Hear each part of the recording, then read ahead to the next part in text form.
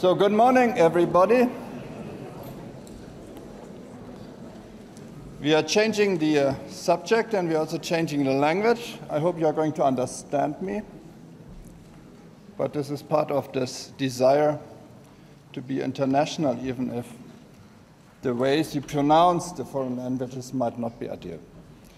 But we have a guest from abroad, Jose Maria Rey Benayas from Madrid and I have a great pleasure to introduce him. And I, of course, do this in not his language. I would love doing so, but I do it in the language which is somehow the lingua franca, that we have a common way of communicating also with colleagues from other European countries, and that might be the number 14 or 15 in the um, selection of points we had in this marvelous presentation by Dr. Görres because without a kind of common language, Europe will not work, and also this international way of communicating for climate change agreements and other agreements wouldn't work.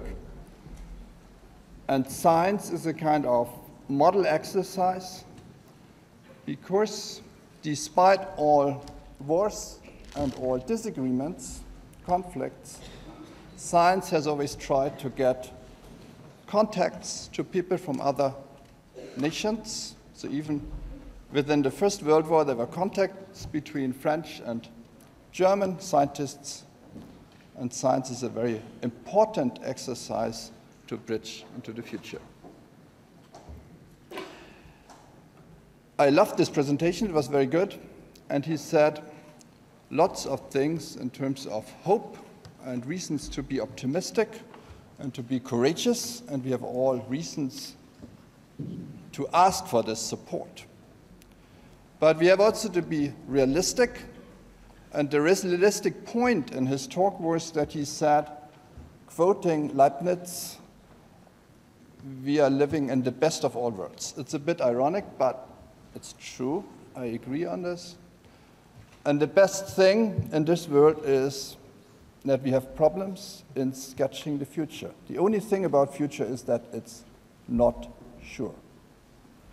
So I, with great pressure, I could see that he was not reaching 56. Okay, the big job Udo gave us to sketch the coming 40 years. Difficult. Uh, we probably are not going to achieve this. And the talk was, was marvelous, but we are not 40 years ahead. But we have hope. That's very good. We are going to be courageous. But the most important part of this perfect world is that we don't know. Because it helps us being curious, being engineers, and never to be too optimistic. And looking back at the past century, we have also to realize one thing from the onset of the past century, which was the most bloody and cruel century in Europe, that it was said it would be the century of peace. So if we now say the next century, which definitely will be the century of the environment, we are a bit struggling. Maybe we succeed, but maybe we don't succeed, because we never know. And that's kind of point 13 or whatever, which you have to add to this talk, which we just heard. Reasons to be optimistic come not only from landscape architecture, from social sciences, economics, and so on, political sciences, but it comes also from natural sciences, from technology, and from ecology. Extremely important. Discipline championed by Wolfgang Haber again and again. And the talk coming now will open this door into ecology, um, not the entire ecology, impossible, just one aspect that has emerged in the past 10, 15, 20 years, and it's represented by a colleague from Spain, which I selected by looking around who could be the speaker for today, and I found Jose Maria Benayas from Madrid. He has similar interests as I have, so that's always positive, you know for talking. So he also started after his PhD in um, Madrid based on a survey of grasslands, something very dear to my heart, and uh, geochemical aspects here. He moved, he left his country, he went to Illinois, did a postdoc for two years, learned about different technologies, remote sensing as a kind of landscape analysis, then worked also on um, forests, not only in grasslands, worked in Central America, Southern America. And then one important thing happened, which you can see in many vegetation ecologists starting in the 80s, 90s, that they shift to conservation. And then a few years later, he shifts to restoration. Because the feeling is, and it's also a sign of hope, that first we have to know what's out there to describe it. Then we could do something like this building here. We protect, make a nice, nice roof over the thing. But the processes are too fast. So we have to be engineers, we have to do it differently, and that's restoration ecology. And he has published many, many influential papers, and I most admire that he is still being senior first author on many of these papers, while many colleagues like myself become then authors on the very end of these papers. And one of his most influential ones has a nice title, which I will give you. It's published in Science in 2009, and it has the title Enhancement of Biodiversity and Ecosystem Services by Ecological Restoration. So I don't know what your title will be here. I should know. No, I don't know. Um, but it could be a very nice title, and it gives you all reasons I have to invite him to present restoration ecology to this audience. Thank you for coming.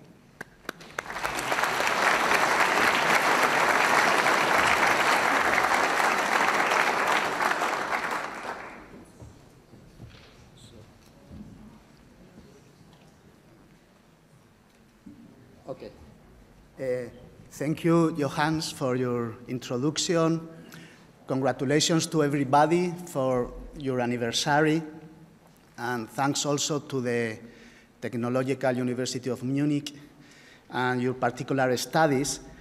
Okay, uh, this is the title of the presentation that you didn't know. Outco outcomes, it means from the past today, and perspectives, Let, let's see what may happen in the future of ecological restoration. Uh, for you have an outline, I will talk about three major issues. Uh, first, the, the ecological footprint and, and the hope for the so-called uh, positive ecological intervention that can reverse this footprint. Then I would jump into uh, quantifying the outcomes, uh, this means quantifying success of uh, ecological restoration, what the scientific evidence says to us. And I will finalize with the perspectives for the future and the axiomatic conclusions in, in an academic environment. So let's start with the ecological footprint and the hope related to positive ecological intervention. Uh, our planet, the, the place where we live, we call it the, the blue and the green planet. It is like we know it uh, because there is life on it. Okay, uh, there is biodiversity on it. Uh, otherwise, it would be something very different, probably more like planet Mars, that we call the red planet. But uh, this, sorry, I took this picture in, in this planet, of course. uh, it's a river called uh, the Red River uh, in southern Spain, in the basin of that river, there has been an exploitation of copper, iron, gold since the Roman times, and this has produced a highly contaminated, polluted environment. Uh, the pH of uh, this water is between two and three. In this extreme uh, environment, uh, very few species can thrive, and this particular one just two prokaryote species uh, live on it. Okay, uh, this scheme uh, may sound familiar to most of you. It is the uh, conceptual framework of the uh, uh, ecosystem millennium assessment. Uh, as you can see, the life on Earth or biodiversity wraps the functioning or services that uh, uh, we obtain from ecosystems. And these uh, services uh, uh, are uh, essential for our well-being. Okay, so from now on, when I speak of biodiversity, think always on, on the link with the ecological processes that ultimately result in our well-being. So this is a instrumentalist of pragmatic uh, view of uh, view of, of, biodiversity and, and the function and the health of ecosystems. Okay, uh, there is a lot of scientific evidence that uh, biodiversity is declining. This study uh, shows a, a decline of about 20% with reference to 1970. Okay, uh, this is happening because uh, the pressures over biodiversity are increasing.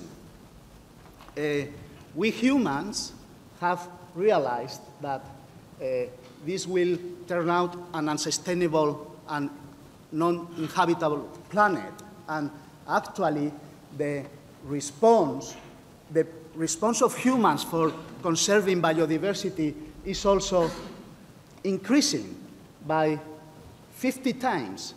But clearly, uh, still the pressures on biodiversity makes decline them, and our response is not being sufficient.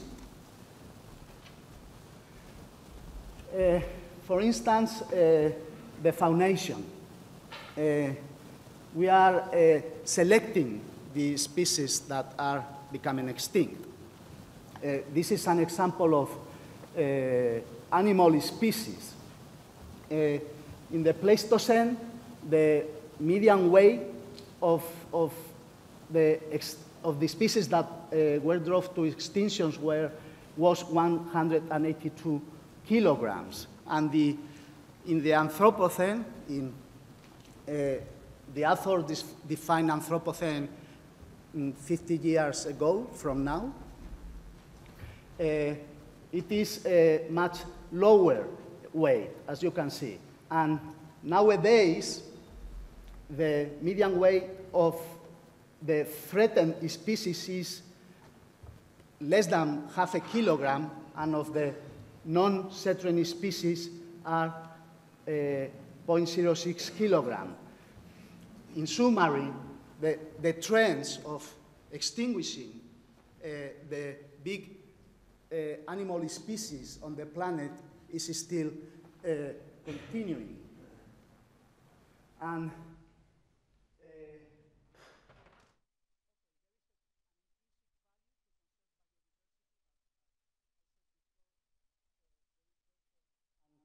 pragmatic value, the, the services that these species provide to humans. And these are a few case studies. The blue bars indicate the levels of different ecosystem services with low abundance of the animals that drive these ecosystem services or deliver these ecosystem services, while the red bars indicate the same ecosystem services with high abundance of the animals that perform these functions.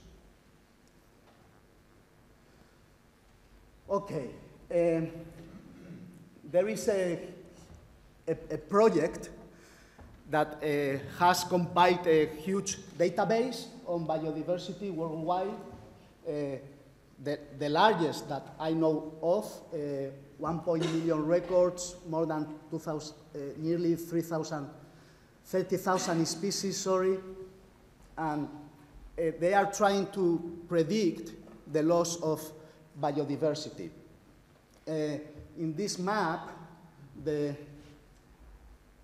more intense the red color is, it means that local biodiversity has decreased more intensively in the last few years. Uh, the, the baseline for this loss would be a full primary vegetation or pristine ecosystem. Okay, in summary, these authors uh, have calculated that human-driven uh, land use has caused a loss of 30, nearly 14% of local uh, biodiversity by year 2005. And this is also a, a, recent study that has measured the ecological footprint, the changes between 1993 and 2009, and this is sort of a summary map by ecoregions. So uh, only the green colors in this map uh, indicate that there is an improvement. In other words, the human footprint has decreased. But again, as you can see, most of the world is either slightly degraded or degraded or highly degraded. Okay. Uh, by coincidence, Germany is in this map, this zoom up, and you can see very quickly from the blue to the red what areas uh, uh, have not changed and where the human footprint has increased in Central and Western Europe. Okay, uh, what to do to regress this? Okay, uh, there is a range of tools or disciplines that we call uh, ecological intervention. These disciplines uh, can be ordered along a gradient of degradation from very degraded ecosystems to the left to intact ecosystems to the right. Uh, the spectrum of action for these disciplines is depicted by uh, these colors. And so uh, there, there, there is remediation or removal of pollution, reclamation or change to a better land use, reforestation, revegetation, rehabilitation, ecological engineering or ecological restoration on the base that it is the most inclusive one. By the way, I missed in this scheme the translocations, a powerful positive intervention, and also habitat creation. Okay, as you know, uh, there, there is a commitment or a target of the uh, uh, CBD for 2020 that is to restore at least 15% of uh, degraded ecosystems. We are supposed to achieve this target, uh, but we will not, unfortunately. And more recently, uh, the Sustainable Development uh, Agenda that has substituted the Millennium Goals.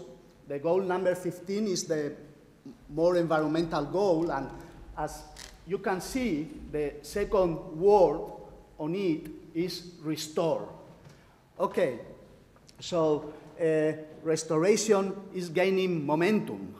For instance, uh, there are many ambitious programs related to forest restorations, uh, millions of hectares for the next few years.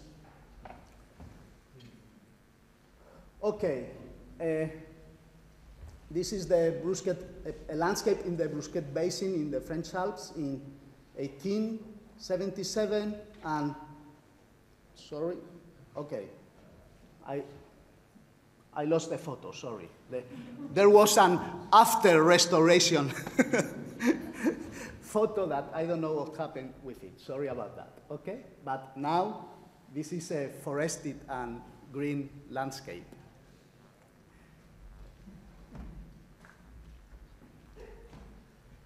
Sorry. Okay, now let's go to the second section of this talk, the outcomes and the scientific evidence for it. Okay, uh, success is always referred to an objective. If a student gets a, wants to get a good mark and just gets a, a pass, he or she is not being successful. If the same student uh, Uh, want just to pass the, the matter and gets that mark, he's been successful. Okay, the same for ecological restoration.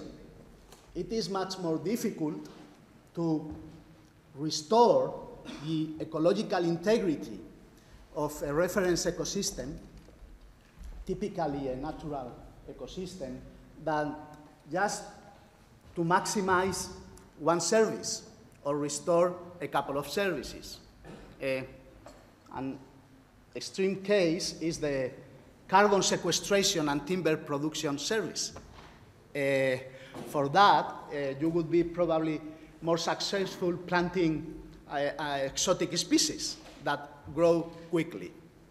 Okay, but ecological restoration mostly aims at restoring a, a full range of services and forms of life, the ecological integrity. To measure the outcomes of ecological restoration, we, we have to deal with three states of the ecosystems. The degraded ones, here you have some examples in the world. The restored ones, uh, below the restored ecosystems, and also the main restoration actions that were taken in those particular studies, and the reference, uh, the last bottom of pictures. Okay. Um, we published uh, this diagram a few years ago, and the scientific literature shows a number of trajectories of recovery. Uh, here you can see a, a, number of these trajectories across time of degraded ecosystem, which where, we'll, where we, we will typically measure low uh, levels of biodiversity or any other indicator of ecosystem services. And these measures will be maximum in the reference state. Okay, for uh, practical terms,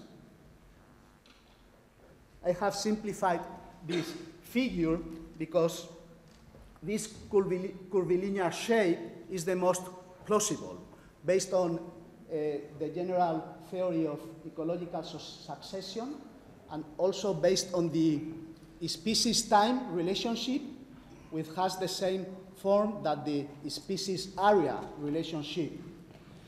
Okay, uh, here the, x -axis, the y-axis is the ecological integrity. It's a syndrome of biodiversity and ecosystem services and how it changes uh, across time. Okay, time can be, can be reduced if our ecological restoration actions are intense and or frequent. We can save time. We can speed up the process of uh, ecological succession of recovery. Sometimes the ecosystems are that degraded that they are below a threshold. In those cases, ecological restoration is very expensive, slow, and difficult. Maybe we should put our investment in restoring something else. Okay? And mm, sometimes the restored ecosystems never reach the reference and they achieve what we call alternative states. Okay, uh, it is important to consider the initial degradation level of ecological integrity. The difference between the degraded state and the restored state is what is called the recovery progress. And uh, the difference between the restored state and the reference state, state is the recovery completeness, how, how much farther we have to walk. Okay, uh, I have contributed to a number of global ecological met meta-analyses to measure these outcomes and success of ecological restoration, and you are welcome to download it from my webpage. Okay, if you are interested only, of course. uh, all of them are global, but some of them are skewed towards temperate areas. Well, use multiple indicators, quantify both recovery progress and recovery completeness, analyze the effect of the context factors, and explore the diversity function relationship. Okay, I will show you just uh, some results of the first meta-analysis, which deals with multiple ecosystem services. Okay, here you have the outcomes for many individual and independent studies of uh, the delivery of biodiversity, the left bar, and the three types of ecosystem services. By the way, cultural, cultural service are, are not well quantified in the scientific literature, uh, so we couldn't analyze them. Okay, the positive bars means that the, restore, the delivery of restored delivery of biodiversity and ecosystem services of restored are above the degraded ecosystems and clearly as you can see, the ecological restoration enhances both biodiversity and ecosystem services. And we quantified the levels, 38% for biodiversity and 25% uh, for uh, ecosystem services. And this is the comparison of the restored versus reference. It is sort of the mirror images of the previous slide. And in summary, uh, we conclude that uh, reference ecosystems perform better than restored ecosystems. So conservation is still a priority. It's better, it, it is better to conserve than to restore. Again, we quantified 40% uh, lower for the case of biodiversity and 20% lower for the case of ecosystem services.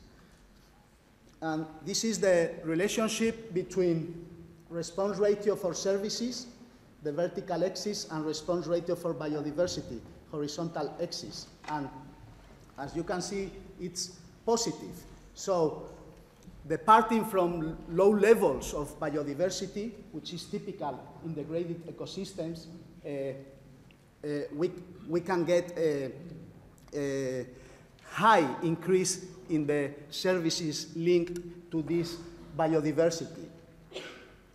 Uh, the same graph, but in this case, restored versus reference. As you can see, the relationship is flatter.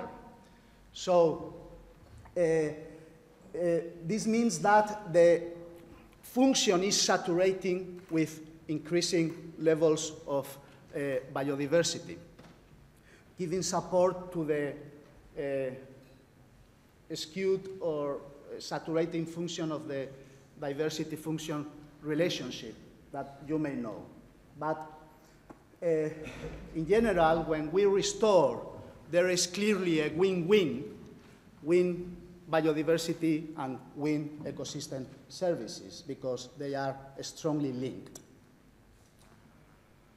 Okay, and uh, this is a, a, figure of our last meta-analysis uh, led by a Brazilian student, and uh, as you can see, the numbers in these two left figures are to the left of the zero, so it means that uh, restored systems perform worse than the reference systems.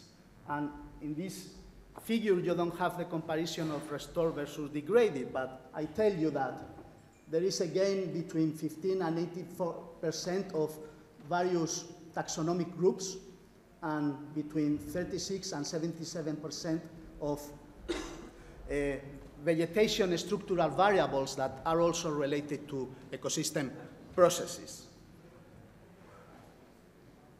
And uh, this is my last publication. Uh, it is a, a meta-study, a summary of all my previous meta-analysis. And uh, one would expect uh, green numbers, green positive numbers for the gray columns. Uh, this means the recovery progress, and blue and negative numbers for the white columns, which are measuring percentage of recovery completeness. And mostly uh, the pattern fits. Uh, there are some exceptions that uh, can be explained, but I don't have the time now, sorry.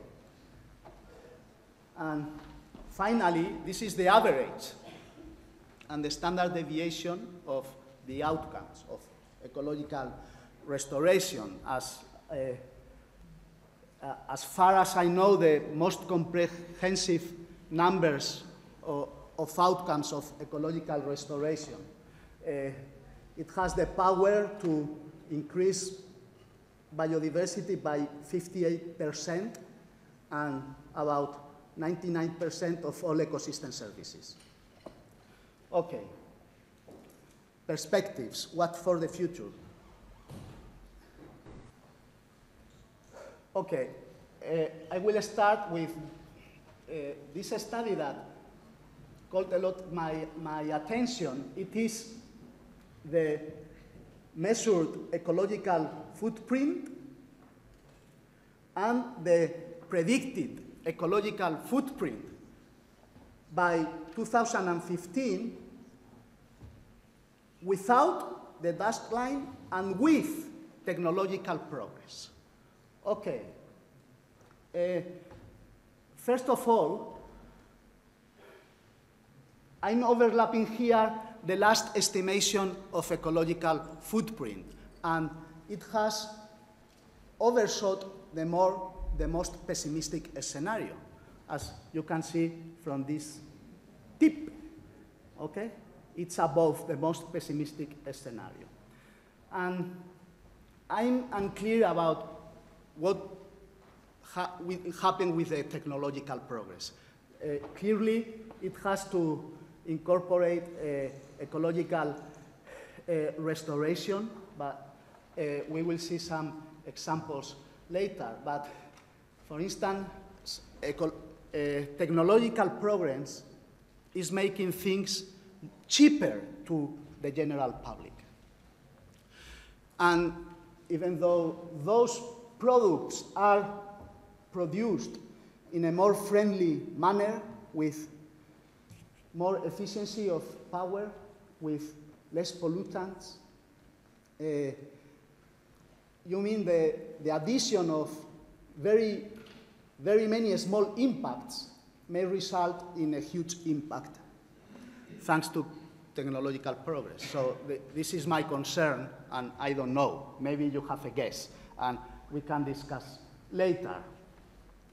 Okay, now there is a debate in the scientific community about what is a safe limit for biodiversity. How, how much biodiversity we can lose. Uh, some authors Again, these are authors of the PREDICTS projects, have estimated in 90%. So we should preserve at least 90% of the local biodiversity in order to support the ecosystem services that we need for living. And now, uh, nearly 70% of the human population that inhabits 58% of the planet are living beyond those estimated uh, safe limits of biodiversity. Okay, uh, we can wonder if we are really in such a pessimistic a scenario. Some people uh, do not think like that. For instance, uh, Thomas published, uh, an, uh, he's a British ecologist, published uh, three years ago an editorial in Science about how the Anthropocene could raise biological diversity. Okay. Uh, mm, his arguments are related with three is issues gain of local species richness due to the establishment of exotics. Okay. Gain of regional species richness due to climate change, due to warming, uh, uh, the cold areas of the planet are becoming more productive. And as you see, as you know, there is a positive correlation between productivity and regional species richness. So that would be another reason. And the third one would be hybridization between native species and exotic species. Okay, these are the three reasons. Uh, there is an additional reason for a more optimistic scenario. It is land abandonment. Okay?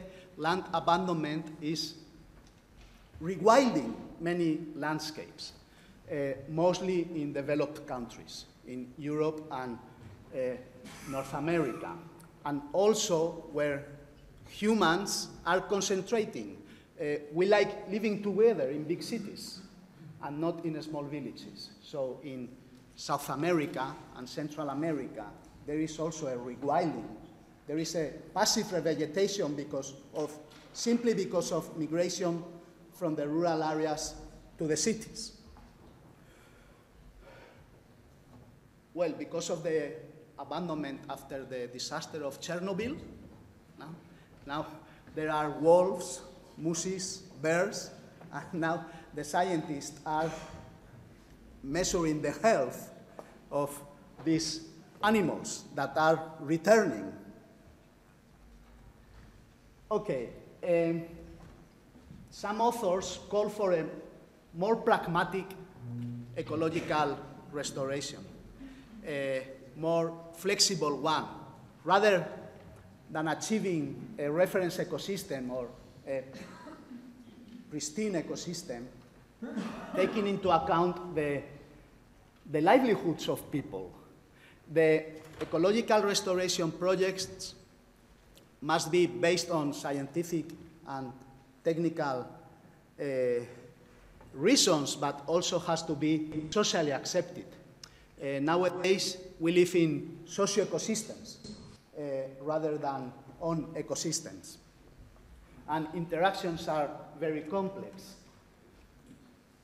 Uh, in my view, ecological restoration is useful for attacking some causes of degradation, for instance, habitat fragmentation. It's an, I, I, I, I don't mean that it is easy to solve, but uh, there is good technical support and evidence of good results. This is a, an aqueduct in the Netherlands for, to diminish habitat fragmentation. And of course, some actions uh, can be extreme because the cause of degradation is also extreme.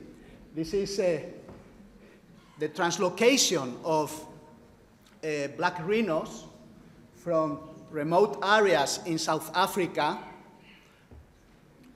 with still relatively good populations to remote areas uh, where the technicians and scientists they are safe and will not be poached. Okay, sometimes the areas are that remote that they need helicopters to uh, take the rhinos to the closest road where uh, an special truck will take them to the reintroduction area. But I think that ecological restoration is weak against uh, other threats of biodiversity and ecosystem services. One is cl uh, climate warming. Uh, you know, uh, climate warming is, it, it is very difficult to, to, to fight against climate warming. Okay, these are two examples, a hybrid of grizzly bear, the brown bear, and a, a polar bear. Well, the uh, ecological theory predicts that the white bear will become extinct. First, it will hybridize with the grizzly, but ultimately it will become extinct. And another example related to the white bear, cannibalism on ice, okay? Uh,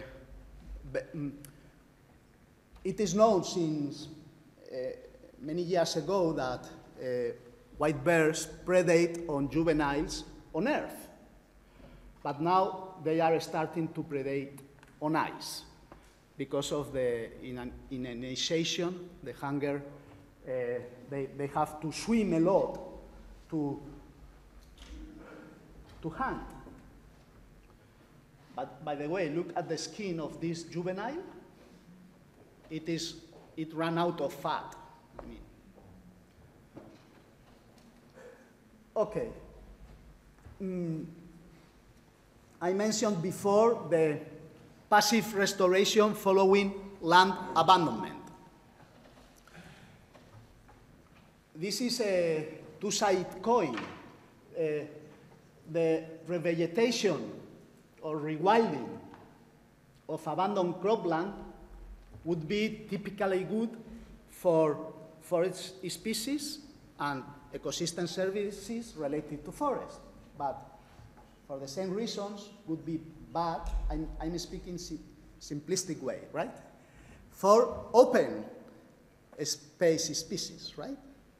Like many traditional uh, farmland systems in Europe and other parts of the world. Well, the, the point is that Europe uh, has gained a lot of forests and their services thanks to land abandonment. And the predictions, this is a map that predicts abandonment by 2030 in Europe. The prediction is that cropland and pasture land abandonment will continue on. Okay? Uh, the, this gradient, the intensity of the green color, is related to the percentage or proportion of 10 by 10, 10 by 10 squares that will become abandoned in the near future. So look, for instance, at northern Portugal or some parts all over Europe. Of course, behind this abandonment, and this is noticeable already, the biodiversity returns. Now there are more beavers, brown bears, lynxes, wolves than uh, there was in the past. Okay, I will not click on this link mm, just in case, but it is a dynamic map that shows the greening in Europe since, uh, 1000 and, since year 1900, okay, up to 2010, I think. And it's a dynamic map that shows how the, the green colors related to shrubland and forest expand in detriment of the yellow colors related to cropland. Also, red colors related to urban areas are quickly expanding. Okay, um, about 38% of the planet is a cropland or a permanent pasture land. What I mean, the land, not the earth, the land. And in some areas, at the local level or at the regional level, uh, the cropland or the pasture land covers nearly 100% of the land, uh, up to the scale of thousands of square kilometers, for instance, in Argentina or in the US. And here are some, some examples of this agricultural use of the land in four countries in the world. Okay. Uh, inspired on this and on experiments of establishment of woody plants, native woody plants, I developed a model. It is an alternative to, for reforesting agricultural landscapes that I modified recently. Okay, uh, I call it the woodland islets and coast reforestation model. The woodland islets are uh, little blocks dense, for instance, 100 square meters of native vegetation, and the coast are the hedgerows. Okay, uh, actually, the, a good network of hedgerows uh, would fit the official definition of forest by FAO. Okay? Okay, uh, so in a landscape with no natural or semi-natural, vegetation at all, you introduce these woodland islets and hedgerows, and from here on, there are two possible paths. Still, you continue the crop or the pasture.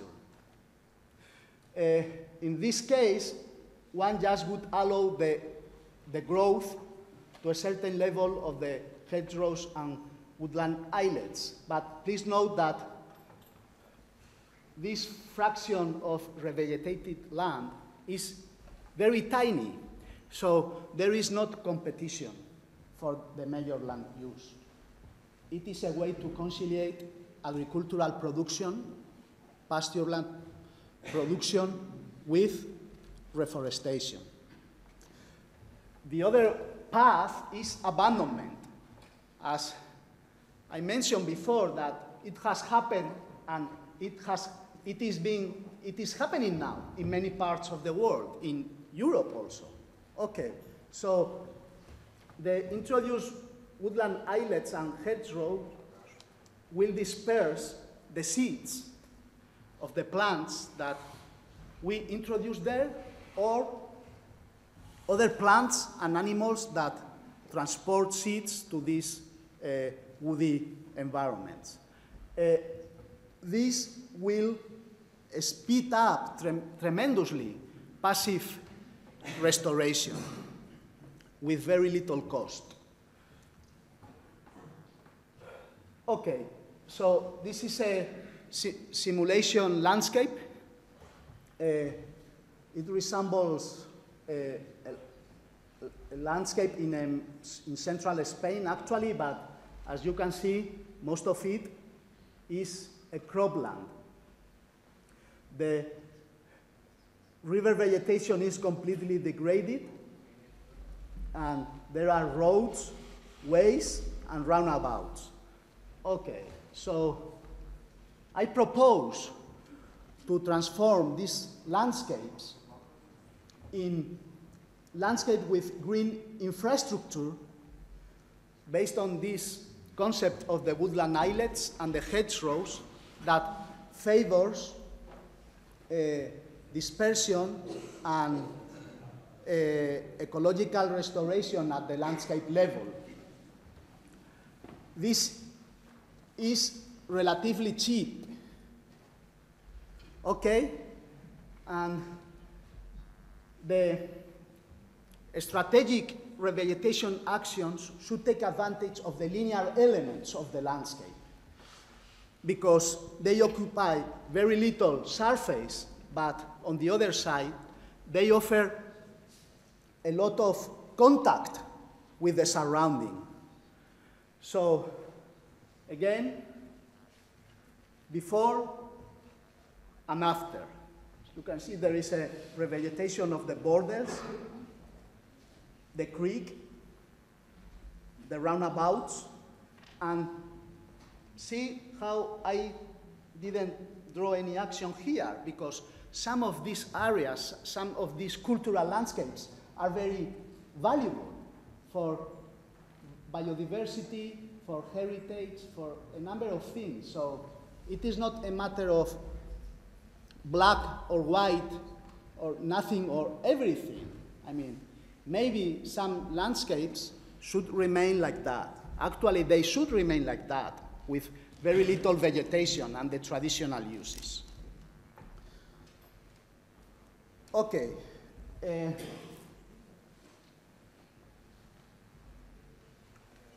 part of the future relies on genomics. Uh, there are already quite advanced projects uh, related to as assisted evolution, the acceleration of natural processes. One of those has to do with restoration of coral reefs. Okay? Now we know that phenotypic plasticity can be inherited with, through epigenetic processes. So in the lab, we can induce the changes that we need in some organisms and later on the organisms with the characteristics that we are looking for can be selected and propagated. In the sea, those corals should be more tolerant to more acid waters and to less transparent waters. Okay, and also in relation to genomics, uh, the disextinction. Uh, there are a number of projects going on. One of them is very close to get a this extinct species. It is the passenger pigeon in the United States. The last individual died in, in a jail, in a zoo, a few years ago. And now you know that the passenger pigeon had migrations. Uh, they are training messenger pigeons to teach the, this extinct passenger pigeons uh, to migrate. Okay, this now sounds like science, uh, science fiction, you say? But uh, a colleague of mine who knows this project told me that in 10 or 12 years, passenger pigeons will be extinct. Uh, probably also the Tasmanian tiger and some species of the Galapagos Islands. By the way, this is the lonely George, the last individual of uh, an species. I think it was in the Pinta Island that passed away. And this is a former PhD student of mine that got this, this picture. Okay, uh, this t-shirt is a gift that the third cohort of the students of the master's program on restoration ecology that I lead uh, gave to me. Well, the, the t-shirt is very ironic, but there is a sentence, further research is needed. Well, the students were being ironic with me because I make them reading a lot, you know, and as you know, the scientific method is circular. And one research, one experiment, one project, one paper closes and answers some questions, but open others. And further research is needed is a topic that usually appears by the end of the scientific papers. So what I claim is that, of course, further research is needed, but action is desperately needed because there is also good scientific basis and te technological uh, basis to, to, good, to do good restoration projects. Okay. Uh, four pillars, uh, in my opinion, for spread ecological restoration in the real world are education to gain sensitivity in the public in general, capacity building, and financial support. Okay, so these are the challenges.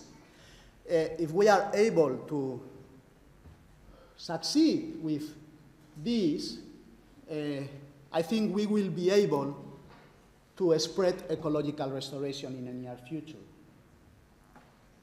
So to conclude with, I hope I'm on time, more, more, more or less, yes? Uh, ecological footprint is still increasing.